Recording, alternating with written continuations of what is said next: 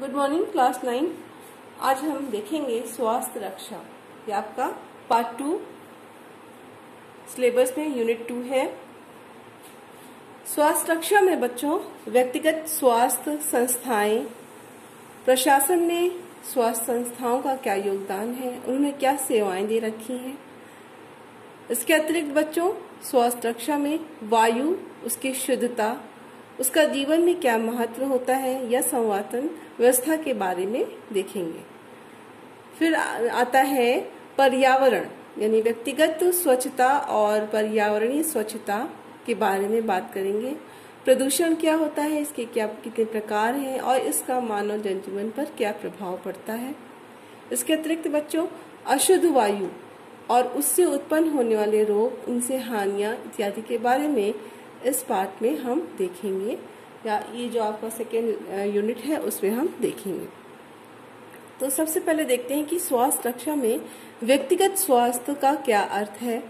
तो व्यक्तिगत स्वास्थ्य क्या होता है बच्चों? ये आप लोगों ने सिक्स से लेकर के एट्थ हर क्लास में ये चर्चा की जाती है, या ये चैप्टर दिया रहता है कि स्वास्थ्य क्या है।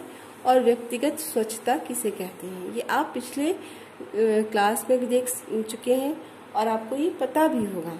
बच्चों, ये स्वास्थ्य क्या है? स्वास्थ्य यानी शरीर का निरोग रहना।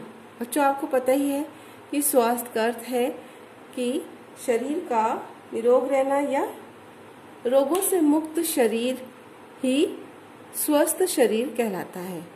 बच्चों, स्वास्थ्य अगर आपका अच्छा है तो स्वस्थ शरीर में ही स्वस्थ मन निवास करता है, ये अरस्तु ने कहा है। ठीक है, अरस्तु के अनुसार स्वस्थ शरीर में ही स्वस्थ मन का निवास होता है। और बच्चों, आपका स्वास्थ्य ही आपकी सबसे बड़ी दौलत है। 21 जून को योगा दिवस, अंतर्राष्ट्रीय योगा दिवस मनाया गया था। और योगा एक ऐसा मार्ग है जो आपको स्वस्थ रखता है। योगा आपके मस्तिष्क और शरीर का मिलन कराता है। उनका विलय कराता है। आपकी बुद्धि का विकास करता है। आपके शरीर को हष्ट पुष्ट करता है। तो स्वस्थ रहने में योगा की महत्वपूर्ण भूमिका होती है।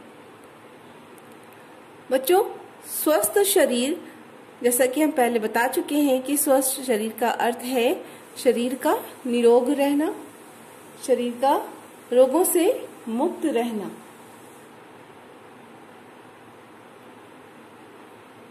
अगर हम स्वस्थ रहते हैं तो हम अधिक कार्यकुशल होते हैं और हमारा विकास होता है। व्यक्तिगत स्वच्छता व्यक्तिगत स्वच्छता आपने पहले भी देखा होगा कि हम लोग नियमित स्नान करते हैं तो व्यक्तिगत स्वच्छता के बारे में ध्यान रखते हुए अपने शरीर को साफ़ करते हैं, जिससे हम स्वस्थ रहें। स्वस्थ रहने के बच्चों क्या उपाय हैं, ये आप पता ही है कि नियमित दिनचर्या नियमित दिनचर्या में क्या होता है? आप सुबह उठ रहे हैं, आप ब्रश कर रहे हैं, अपने शरीर का स्नान कर रहे हैं, अपने आँख, नाक, कान, बाल, शरीर, वस्त्र इत्यादि को साफ़ सुथरा कर रहे हैं, अपने आसपास के वातावरण को या अपने रूम को साफ़ सुथरा कर रहे हैं। ये सब क्या है? स्वास्थ्य या स्वस्थ रहने का एक मार्ग है। इसके अतिरिक्त बच्चों, स्वस्थ रहने के लिए मादक पदार्थों से भी बचना चाहिए। यानी ऐसे पदार्थ जिससे शरीर के विकास में प्रतिकूल प्रभाव पड़े, अनुकूल प्रभाव ना पड़े, ऐसे पदार्थों से बचना चाहिए, उनके सेवन से बचना चाहिए। बच्चों, स्वस्थ रहने के कुछ नियम भी होते हैं। तो स्वस्थ रहने के क्या नियम है? अभी हमने आपको बताया, व्यायाम करना।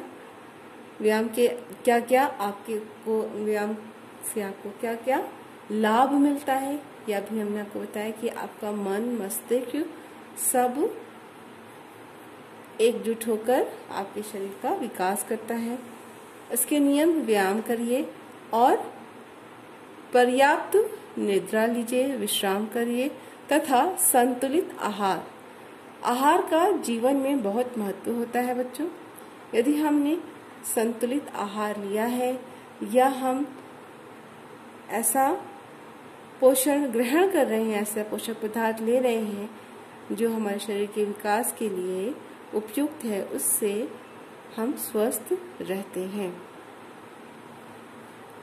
तो बच्चों, आज हमने देखा कि स्वास्थ्य की क्या परिभाषा होती है। शरीर का रोगों से मुक्त रहना, यह निरोग शरीर स्वस्थ शरीर कहलाता है। स्वस्थ शरीर अधिक कार्यकुशल होता है, वह अधिक सुखी रहता है और उस शरीर से हम अधिक से अधिक सेवा दे सकते हैं। हम अधिक सेवा देंगे तो हम, हमारी अर्थव्यवस्था भी अधिक अच्छी होगी, हमारा परिवार संपन्न रहेगा और हमारा समाज हमसे सुखी रहेगा और हम इस प्रकार राष्ट्र के निर्माणक व्यक्ति कहलाएँगे। बच्चों अब देखते हैं स्वस्थ शरीर के क्या लक्षण होते हैं। अगर हमारा शरीर स्वस्थ है तो हमारा उचित विकास हो रहा है, यानी हमारी हाइट सही है, हमारा वेट सही है, और हमारा दिल दिमाग सही से काम कर रहा है। हम थक नहीं रहे हैं, हमें थकान नहीं महसूस हो रही है। इसके अतिरिक्त हमारा शरीर या मांसपेशियाँ सुसंगठित है। संवेग हमारा शरीर और मन, मस्तिष्क सब सही कार्य कर रहा है और संवेगात्मक रूप से भी हम स्थिर हैं। हम समाज में सबके साथ सामंजस्य स्थापित करने कुशल है और इसके अतिरिक्त हमारी आँख, त्वचा और बालों की चमक बरकरार है। हमारी आँख, त्वचा, बाल चिकनी और चमकदार हैं तो कह सकते हैं कि शरीर स्वस्थ है। अंततः हम ये देखते हैं कि स्वस्थ शरीर अधिक फुर्तीला होता है और स्फूर्ति रहती है उसमें, कार्य करने में कुशल रहता है। मन प्रसन्न रहता है। अगर हम प्रसन्न मन से कोई कार्य करते हैं तो हम सफल रहते हैं। और हमें समय पर भूख लग रही है। अगर हम समय पर खाना ग्रहण कर रहे हैं, आहार ले रहे हैं तो हमें पर्याप्त ऊर्जा मिल रही है। हम कार्य करने में सक्षम हैं और इस प्रकार से हमारी कार्य कुशलता औरों से अधिक होती है। यानी एक स्वस्थ शरीर की कार्य कुशलता एक रोग युक्त शरीर से भिन्न होती है। ज़्यादा होती है स्वस्थ शरीर अधिक कार्यकुशल होते हैं। बच्चों इसके बाद हम देखेंगे स्वास्थ्य को प्रभावित करने वाले क्या कारक होते हैं। स्वास्थ्य को प्रभावित करने वाले कारक, मेरा रहन सहन कैसा है? अगर हम समय पर उठ रहे हैं, नियमित दिनचर्या में भाग ले रहे हैं, नियमित स्नान कर रहे हैं तो हमारा रहन सहन भी हमारे स्वास्थ्य को प्रभावित करता है। हम स्वस्थ रहते हैं। हमारा पोषण कैसा है? हमारा आहार कैसा है? यानी हमारे आहार में सभी पोषक तत्व मिल रहे हैं। अगर हम संतुलित आहार रह लेंगे तो हमारा स्वास्थ्य अच्छा रहेगा और हम अपने आप को रोगों से बचाएँगे। जैसे कोविड नाइन्टीन का दौर है तो इसमें कह, कहा जा रहा है कि आप अपनी इम्यूनिटी बढ़ाइए। अपनी प्रतिरोधक क्षमता बढ़ाइए। अपनी प्रतिरोधक क्षमता बढ़ाने के लिए हमें संतुलित आहार लेना चाहिए, जिससे हम रोगों से संक्रमित होने से बच सकें।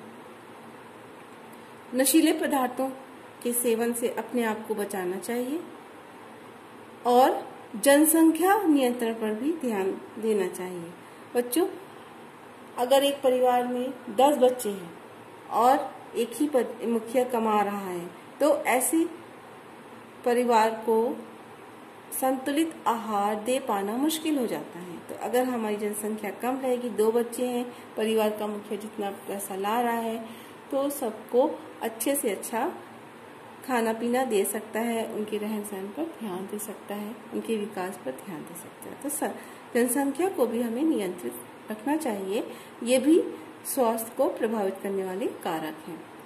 है फिर सामाजिक कुरुतियाँ, यानी सामाजिक कुरुतियाँ का मतलब है कि जो पहले से परंपराएँ चली आ रही हैं, उसको हमें अपने बुद्धि को इस्तेमाल करके उन कुरुतियों का अंत करना चाहिए।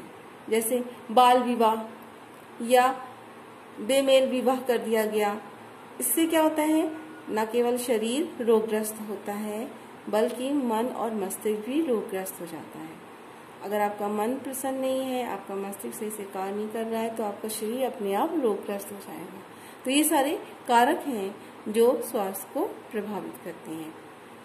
इसके अतिरिक्त बच्चों, व्यक्तिगत स्वच्छता। जैसा कि हमने ऊपर बताया था कि स्वच्छ रहने के क्या उपाय, स्वस्थ रहने के क्या उपाय हैं तो स्वस्थ और स्वच्छता का घनिष्ठ संबंध होता है। यानी अगर आप स्वच्छता पर ध्यान देंगे तो आप अपने स्वास्थ्य पर ध्यान दे रहे हैं। आप व्यक्तिगत स्वच्छता पर ध्यान देने के लिए आपने पहले ही पढ़ा होगा कि सबसे पहले नियमित स्नान करना है, नियमित शौच जाना है, अपने शरीर को साफ़ सुथरा रखना है, अपने आँख, नाक, कान, बाल, नाखून इत्यादि की सफ़ाई पर ध्यान देना है।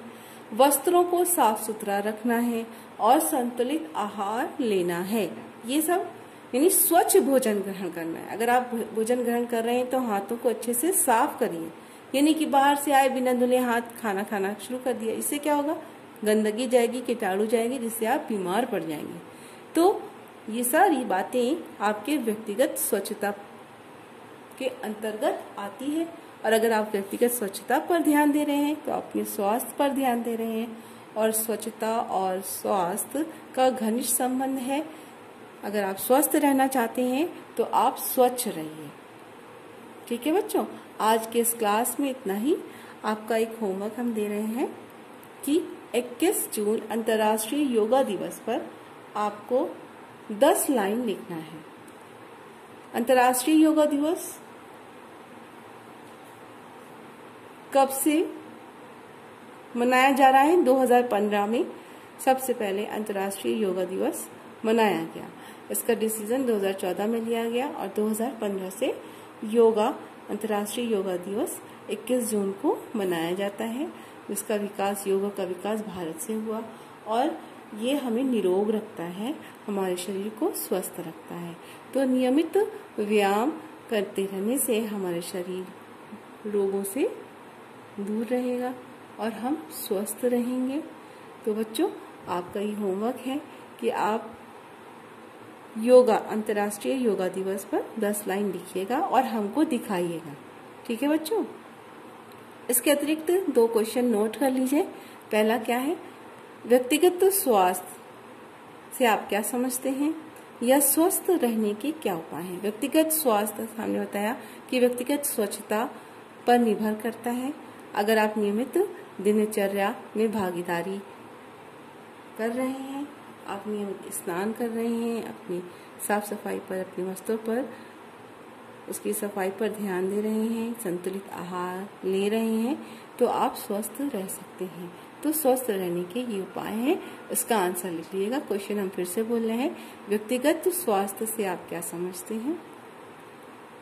या स्वस्थ रहने के क्या उपाय हैं? इसका आंसर आप लिख लीजिएगा।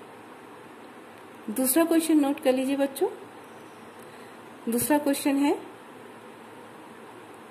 स्वास्थ्य का क्या लक्षण होता है? या स्वस्थ शरीर का क्या लक्षण है? बच्चों, ये हमने बताया है आपको, स्वस्थ शरीर का क्या लक्षण है?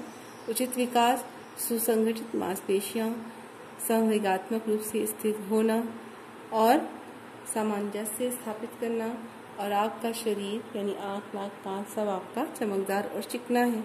आप कार्यकुशल हैं, आप में एनर्जी है, आप थक नहीं रहे हैं तो ये सब अच्छे स्वास्थ्य की निशानी है या स्वस्थ रहने का लक्षण है। तो ये दोनों क्वेश्चन बच्चों करके हमें दिखाइएगा, ठीक है?